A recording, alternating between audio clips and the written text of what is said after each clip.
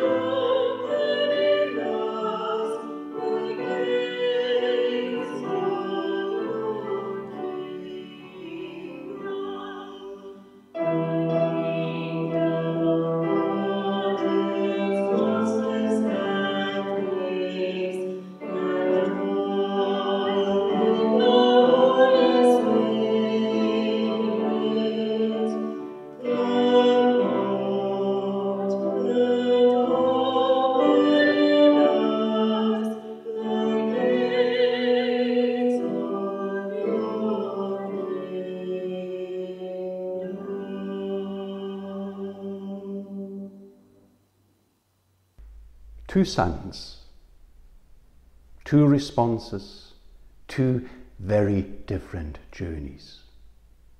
A common motive and theme in our scriptures.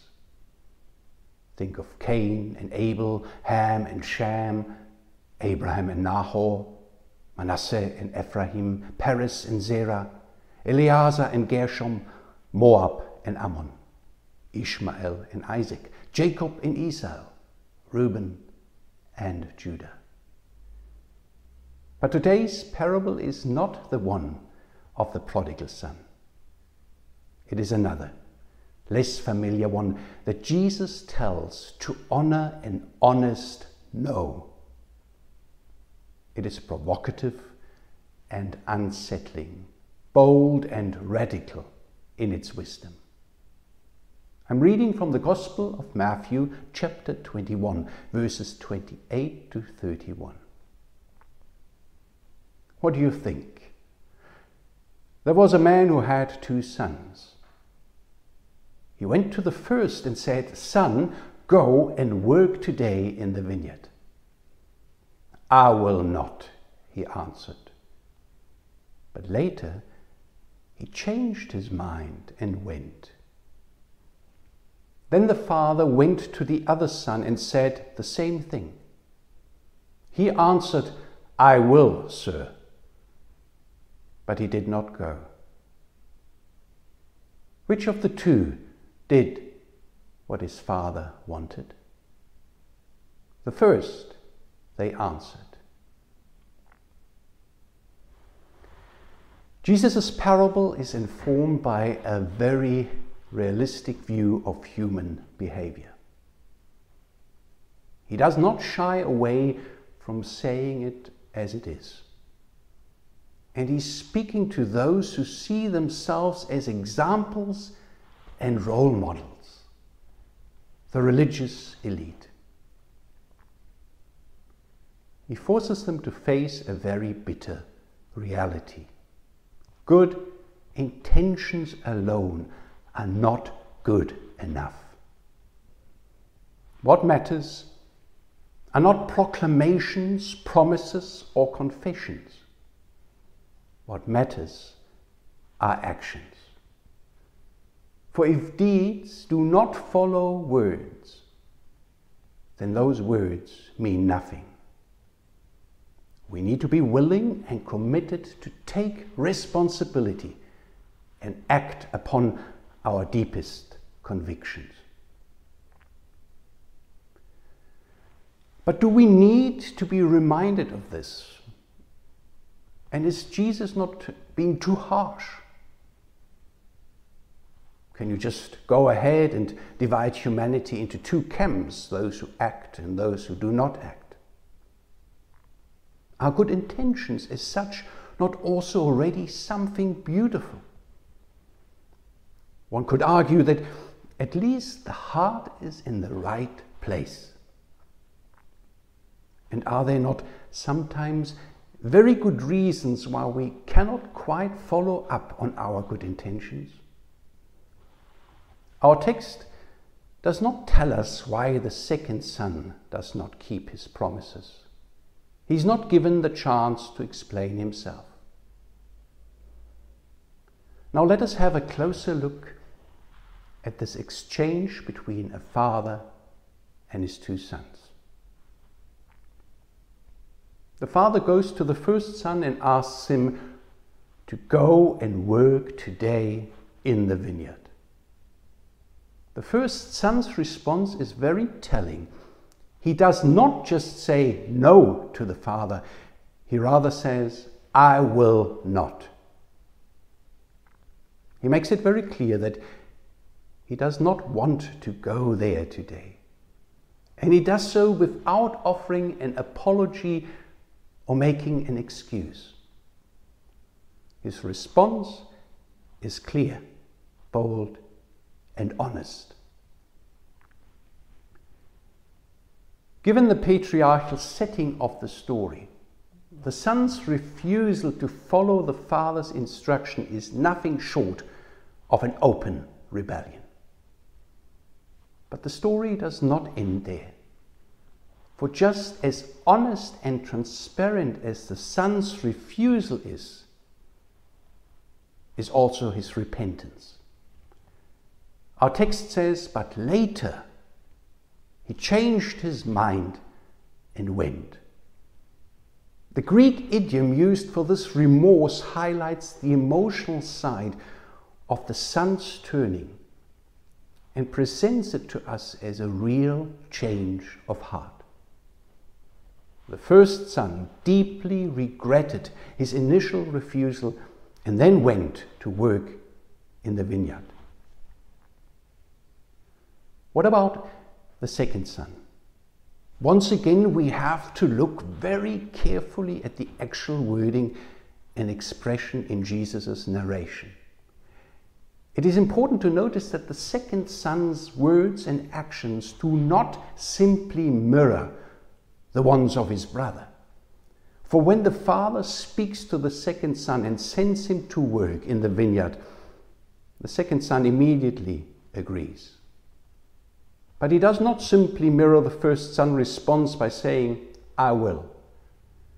The Greek idiom presents us rather with a very succinct response. Yes, sir. What is going on? First of all, the second son addresses his father with sir, the way a slave addresses his master.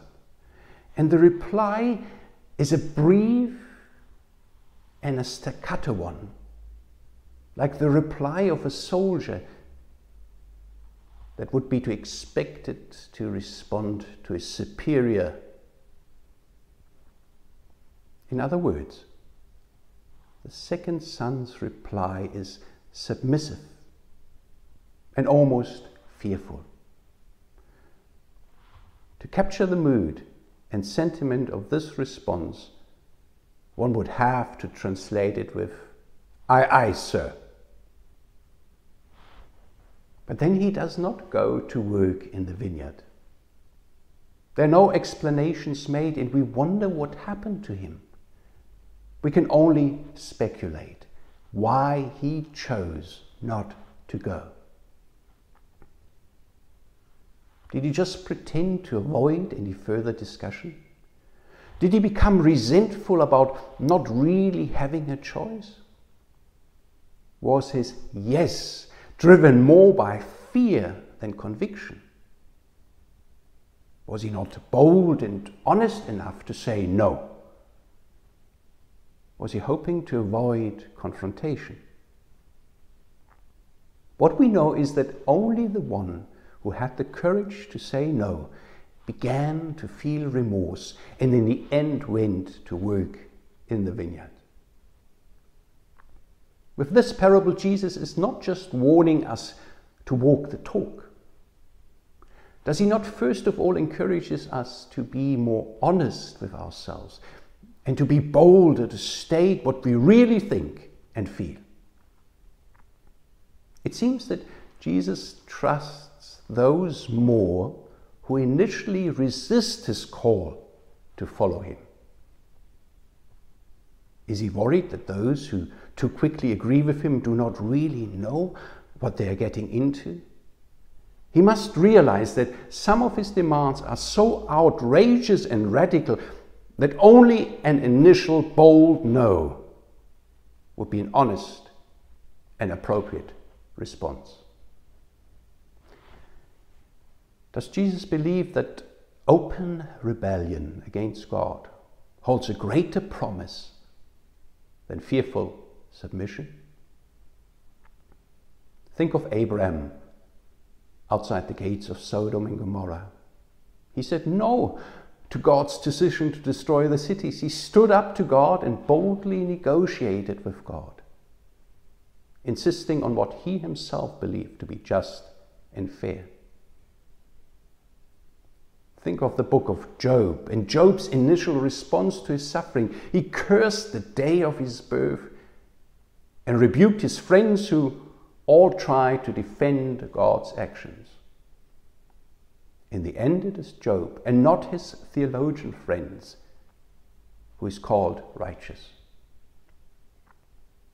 Think of the prophet Jonah and his attempt to flee from God and to resist his calling to preach to his enemies, the citizens of Nineveh. In the end, his message to Nineveh would cause an enormous repentance the fasting and mourning included the cattle in the fields. Think of the prodigal son who decided to leave his father's vineyards and go his own way. In the end, it is he and not the brother who remained at home who would fully receive and understand the gift of his father's unconditional love. Sometimes an honest no carries a much greater promise than a quick and glib yes. Maybe we are sometimes missing out by also being too quick to agree and submit to Jesus' radical call of discipleship. We run the risk of becoming fearful hypocrites and miss out on the opportunity of genuine remorse. An honest no can find very different expressions. Sometimes we need to first take leave before we return and are able to embrace our calling. Bartolomeo Murillo, one of the most celebrated painters of the Spanish Golden Age, captured the moment of the prodigal son's departure. Two sons two responses, two very different journeys. Without this painful but honest departure, the son would not be able to understand and experience the depth of his parents' love. It will empower him to return and to work in God's vineyards.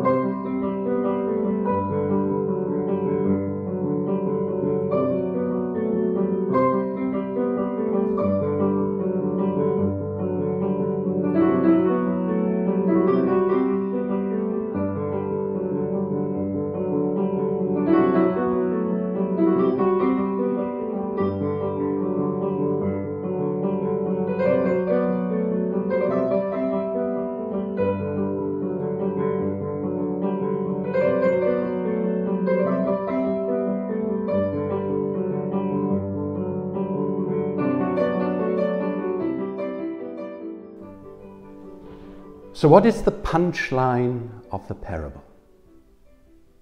That words as such don't really matter if they are not followed up by concrete actions? But do we need a parable to tell us that? Is this not common knowledge and a given? We have to give Jesus credit to be more witty and provocative than repeating the obvious. The Danish philosopher Søren Kierkegaard picked this up when he tried to interpret this parable. Kierkegaard himself was known for his biting criticism of a Christianity that had made peace with its own mediocrity. He first of all offers a new angle by suggesting a contrast not just between words and actions, but also between thinking and doing. He might be speaking to his fellow philosophers and theologians when he reminds them the highest of all is not to understand the highest, but to act upon it. Kierkegaard takes a side swipe at those that intellectualize Christianity and content themselves with pondering scriptures and, and having beautiful thoughts without ever feeling the need to act upon them. There's always the temptation of living in an ivory tower. But Kierkegaard goes further than that when he suggests that the actual punchline of Jesus' parable is even more provocative and outrageous. He begins with a warning that refers to the second son. Beware, the yes of promise keeping is sleep inducing. Kierkegaard highlights the danger of always playing it safe, which can indeed be sleep inducing. We hear Jesus speak to us and simply nod our head in pious assent. As if faith is only about agreeing with Jesus and believing what Jesus believes. Actions become secondary and are delayed indefinitely without any risk to one's good standing and reputation. And so, whenever Jesus is caught up in a controversy, we tend to side and identify with Jesus instead of seeing ourselves in his opponents. We're quick to align ourselves with what Kierkegaard calls the yes of promise keeping. But we run the risk of keeping the radical nature of his teachings in calling at arm's length. The theologian, pastor, and martyr Dietrich Bonhoeffer shared a similar concern when he warned his fellow theologians of what he described as phraseology a mindless repetition of gospel truths lacking integrity and a connection to reality. This can be just as sleep inducing. No wonder Bonhoeffer once criticized his audience at a conference for reading the Bible no longer against themselves but only for themselves. It is another variation of what Kierkegaard called the yes of promise keeping. In line with Jesus' parable, Kierkegaard continues to insist that the only way to awaken from one's innocent slumber is to be more honest with oneself. The first son's bold defiance becomes exemplary. An honest no, Kierkegaard says, possesses much more promise. In other words, those who disagree with us might prove to show more integrity and insight than those who quickly consent. Did Jesus not trust those who were too quick to agree? Is this why he kept rebuking Peter when he was most confident and determined? In Jesus' view, Peter had not fully understood what would be expected of him. I wonder, what is it that makes it so hard to be more realistic and honest with oneself and to say no? Is it the fear of disappointing those who thought they can trust us and rely on us? Is it the fear of losing the respect and admiration of fellow believers and activists? Or is it rather the fear of not being true to one's own standards and ideals? Are we afraid to face our own mediocrity? Can we not bear the full truth of our own half heartedness? Jesus makes it very clear with this parable. He prefers bold defiance to half hearted approval. Outrage and disapproval seem to be more appropriate reactions to his preaching and teaching than a self congratulatory approval. In fact, it seems that Jesus cannot stand a submissive, aye, aye, sir. Remember in John's Gospel, he says that he no longer calls us servants but friends. Jesus does not ask for blind obedience. Trust wants to be earned and always allows for freedom of thought and speech. And of course, the more radical the preaching and teaching, the more impassioned should be one's resistance. Honestly, when was the last time that you felt like saying to Jesus, No, thank you? I'm not going to do it. What you are suggesting and expecting is way too utopian and completely unrealistic. Instead, we are often rather quick to agree and rather pleased with ourselves. So, what would such a bold and honest no sound like? Let's take Jesus' sermon on the Mount in the same Gospel of Matthew. What if working in the Father's vineyard is about going into the vineyard and doing exactly what Jesus teaches in the Sermon of the Mount?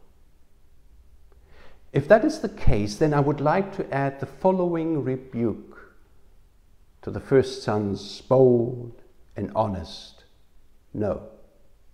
Jesus, I have listened to your Sermon on the Mount, but how can you expect me to be angry? To be not angry with those who have insulted me? And how can you expect me to cut off my right hand that causes me to stumble? Why should I not seek revenge, eye for an eye and tooth for a tooth? My opponents will laugh at me and call me a coward. How am I supposed to simply offer the other cheek to the one who has just slapped me? And how can I keep giving to the one who wants to borrow from me? Now, do you really expect me to love my enemies? And how am I supposed to give in a way that the left hand does not know what the right hand is doing? And what do you mean that God cannot forgive my sins if I don't forgive others their sins? Yes, and how does one fast and not look somber? And what does it mean not to store up treasures for oneself? Do I not need to plan ahead and be financially wise? How can one not worry about money in a world ruled by mammon? Do you really expect me not to worry about my life, what I will eat and drink? Am I not a bird of the air? No, I'm also not a flower in the field. Our lives are more complex than theirs. And why should I get judged when I judge others?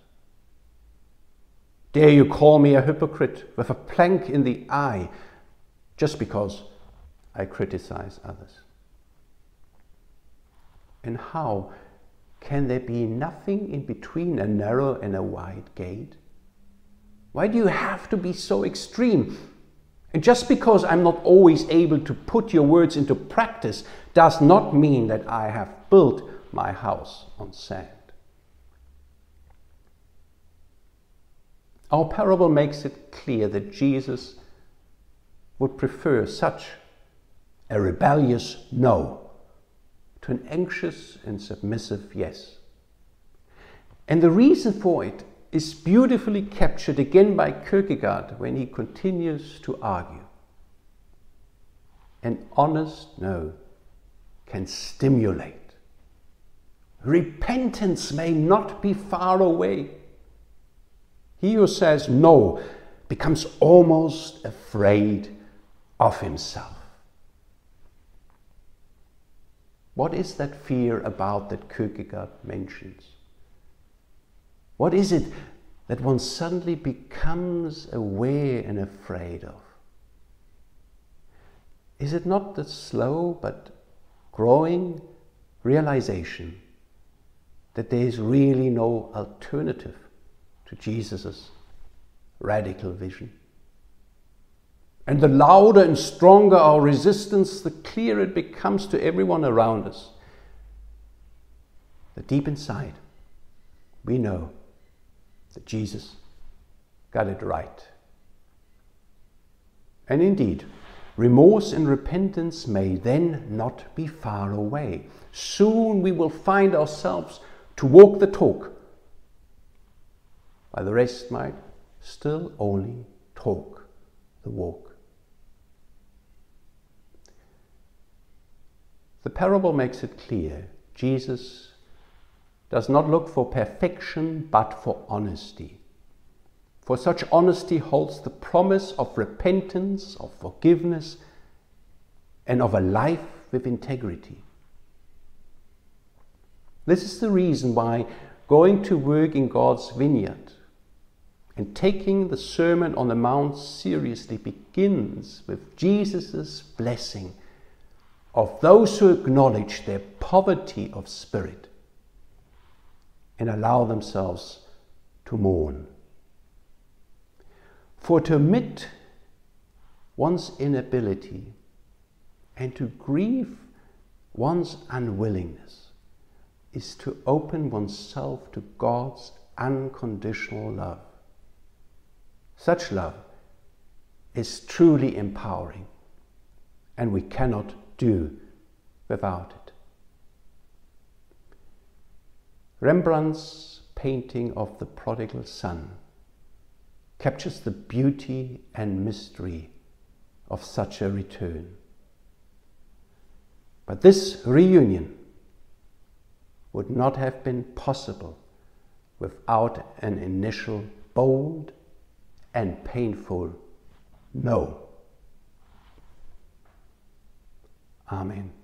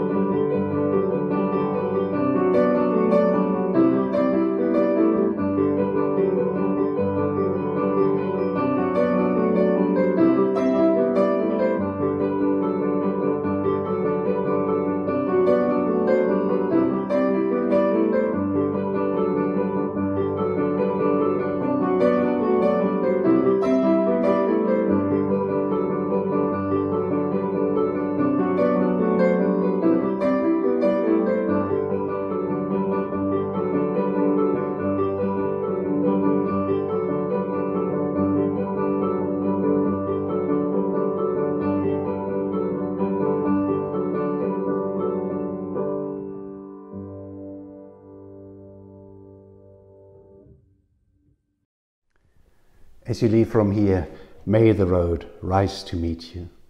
May the wind be always at your back. May the sun shine warm upon your face and the rains fall soft upon the fields of your life. And may God hold you in the palm of her hand until we meet again. Amen.